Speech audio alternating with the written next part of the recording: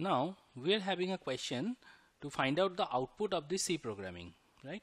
So we are having the three lines over there in this program. One is x equal to 3, sorry y equal to 3.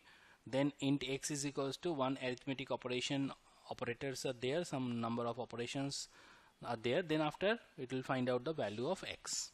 So we are having the options 2.3, 1, 0.3 and compile time error. We have to find it out which option is the correct one okay. Prior to answer these questions we have to know the what the steps and how this operation will work. Because there are some rules and conventions for this arithmetic operations. Okay let's try with this example which is given to us.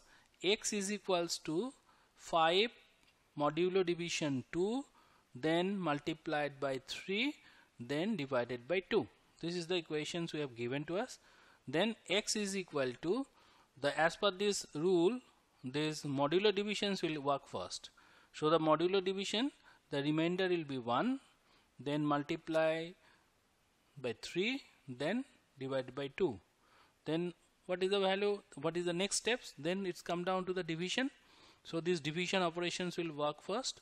So 1 then multiply by 2 3 divided by 2 that is come down to the integer value 1 so the value of x becomes a 1 so that this is the value of x as per our concepts. Let's run this program with this compiler. Let's check it out. Just I'm compiling correct.